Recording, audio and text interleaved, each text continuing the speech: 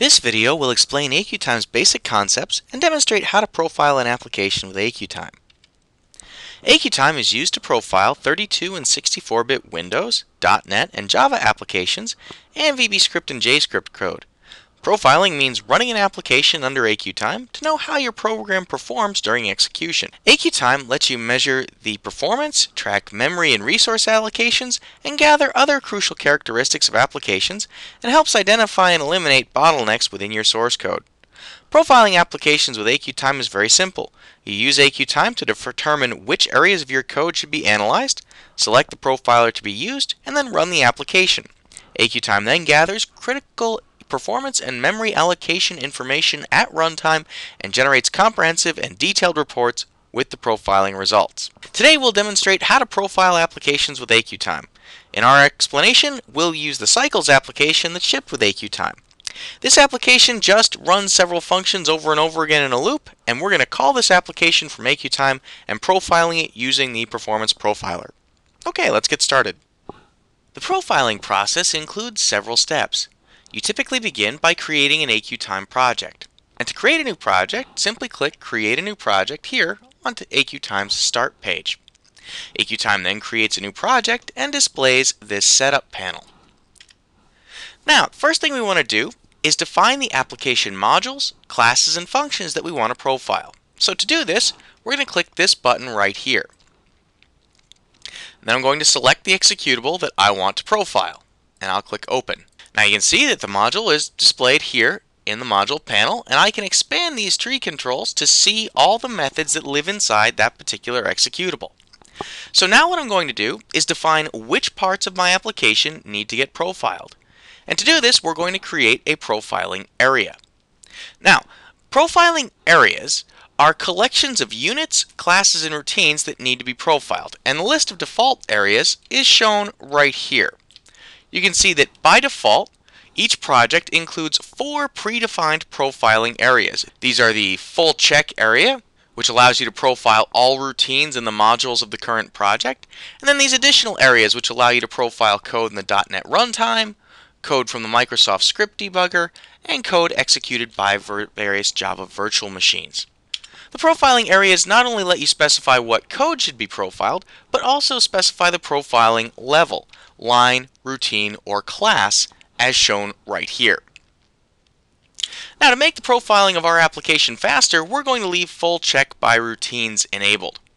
And what we want to do is get some detailed information about an individual routine. So to do that, we're going to create a custom line level area and add that routine to it.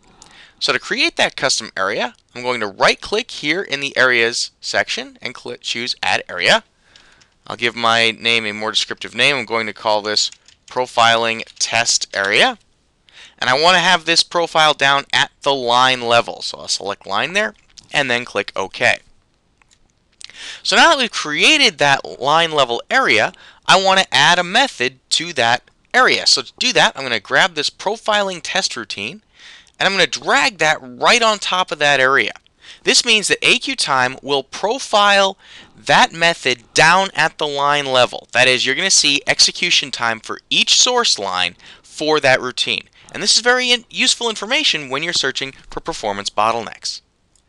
Besides profiling areas, AQTime also offers other ways of restricting which parts of an application must get profiled and when. These are triggers and actions.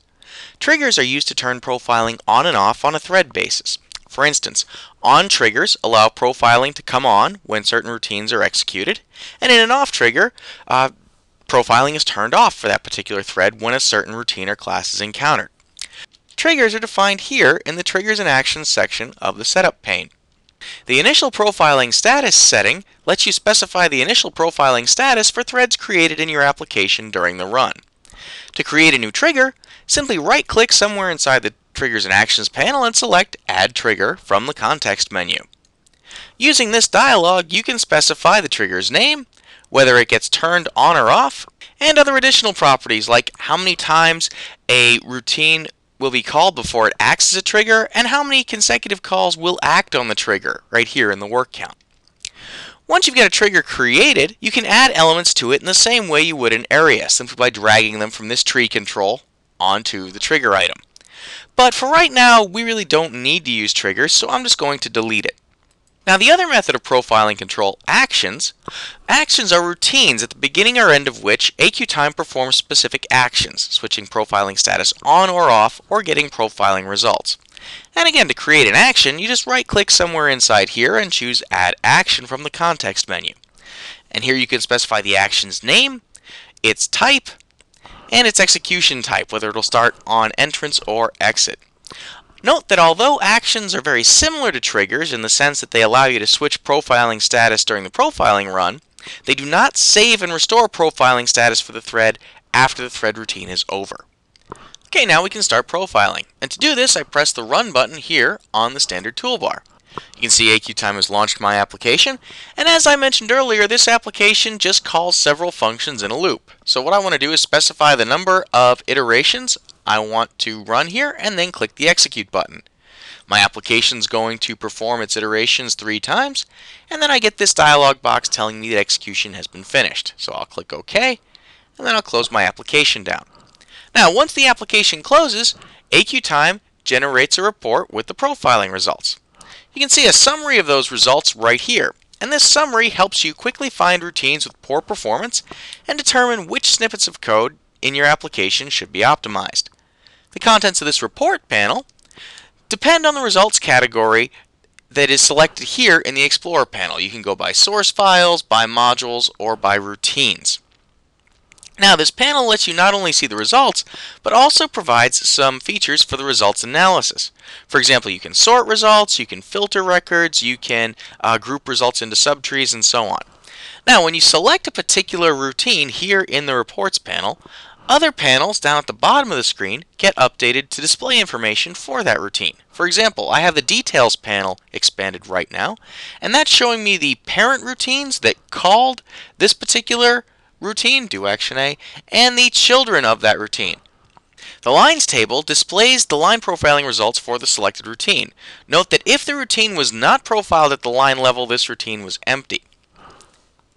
But because the profiling test was profiled at the line level, we can see information about its lines here uh, on that line table. AQTime also traces the sequence of function calls.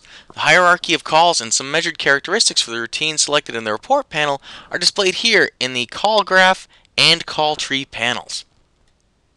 This concludes our video on profiling applications with AQTime. If you have any questions, please don't hesitate to contact us at the email address on your screen. We wish you luck and hope you enjoy profiling your applications with AQTime.